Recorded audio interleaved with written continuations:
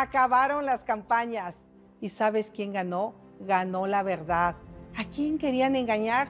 Con eso de que México está mejor que nunca. Si eres tú el que tiene miedo, si es a ti al que el dinero no le alcanza. Intentaron destruirnos con mentiras y míranos, aquí estamos, juntos y más fuertes que nunca. La esperanza cambió de manos.